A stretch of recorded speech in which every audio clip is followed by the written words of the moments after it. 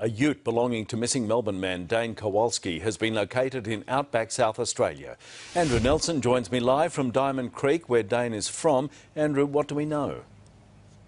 Peter, Dane Kowalski's disappearance has really captured the attention of people right around the country. The 27-year-old was last seen on December 13 last year when he left his home here in Diamond Creek. Family and friends thought he was bound for the Northern Territory. But today, the breakthrough has come from South Australia. South Australia police have recovered his abandoned Holden Rodeo ute from scrubland south of Coober off the Stuart Highway. It was actually found by local musterers. Now, South Australia police will travel to the area tomorrow in a to conduct a land search, hopefully learn a lot more about his disappearance. Of course, uh, this is a major breakthrough in the investigation. More than three months on, Peter, finally some answers. And it, it follows an extensive social media campaign posters like the one behind me uh, have been erected uh, right around, uh, around Melbourne and, and, of course around the country as well.